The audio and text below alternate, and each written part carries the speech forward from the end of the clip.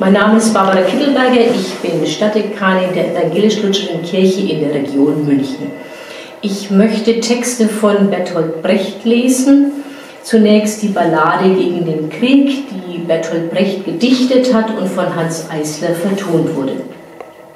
Die Ballade gegen den Krieg. Als der letzte Krieg vorüber war, gab es Sieger und Besiegte. Bei den Besiegten das niedere Volk hungerte. Bei den Siegern hungerte das niedere Volk auch. Die das Fleisch wegnehmen vom Tisch, lehren Zufriedenheit. Die, für die die Gaben bestimmt sind, verlangen Opfermut. Die Sattgefressenen sprechen zu den Hungrigen von großen Zeiten, die kommen werden. Die das Land in den Abgrund stürzen, nennen das Regieren zu schwer für den einfachen Mann. Wenn die Oberen von Frieden sprechen, Mann auf der Straße, lass alle Hoffnung fahren. Wenn die Oberen nicht Angriffspakte schließen, kleiner Mann, mach dein Testament. Wenn der Krieg kommt, wird sich vieles vergrößern. Es wird größer werden der Reichtum der Herrschenden. Es wird größer werden das Elend der Ausgebeuteten, der Hunger, die Ungerechtigkeit und Unterdrückung die werden größer werden. Auf der Mauer stand geschrieben, sie wollen Krieg. Der es geschrieben hat, ist schon gefallen. Wenn die Oberen vom Frieden reden, weiß das gemeine Volk, dass es Krieg gibt.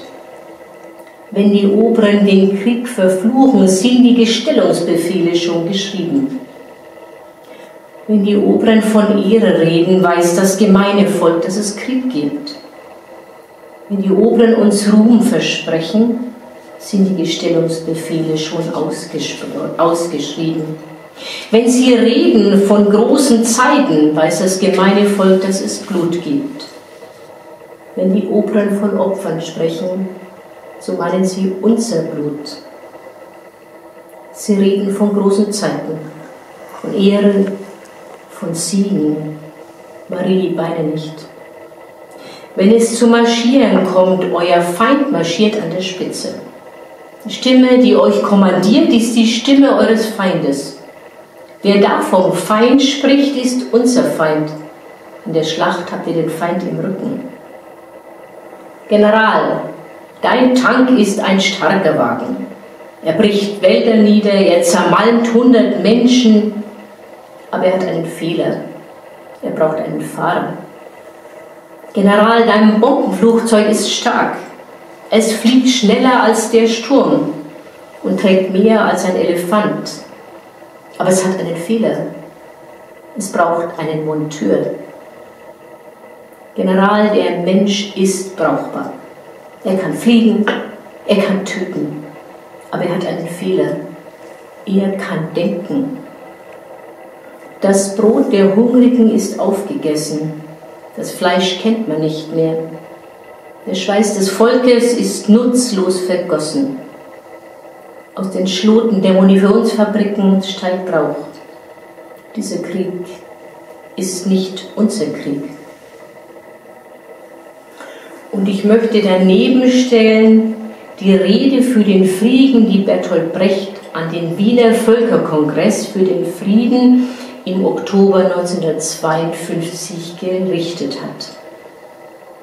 Das Gedächtnis der Menschheit für erduldete Leiden ist erstaunlich kurz. Ihre Vorstellungsgabe für kommende Leiden fast noch gering. Die Beschreibungen, die der New Yorker von den Gräueln der Atombombe erhielt, schreckten ihn anscheinend nur wenig. Der Hamburger ist noch umringt von Ruinen und doch zögerte er, die Hand gegen einen neuen Krieg zu erheben. Die weltweiten Schrecken der 40er Jahre scheinen vergessen zu sein. Der Regen von gestern macht uns nicht nass, sagen viele. Diese Abgestumpftheit ist es, die wir zu bekämpfen haben. Ihr äußerster Grad ist der Tod. Allzu viele kommen uns schon heute vor wie Tote wie Leute, die schon hinter sich haben, was sie doch vor sich haben, so wenig sie dagegen tun. Und doch wird nichts mich davon überzeugen, dass es aussichtslos ist, der Vernunft gegen ihre Feinde beizustehen. Lasst uns das tausendmal Gesagte immer wieder sagen. damit es nicht einmal zu wenig gesagt wurde. Lasst uns die Warnungen erneuern, auch wenn sie schon wie Asche aus unserem Mund kommen. Denn der Menschheit drohen Kriege, gegen welche die Vergangenen wie armselige Versuche sind. Und sie werden kommen, ohne jeden Zweifel, mit denen, die sie in aller Öffentlichkeit vorbereiten, nicht die Hände zerschlagen werden.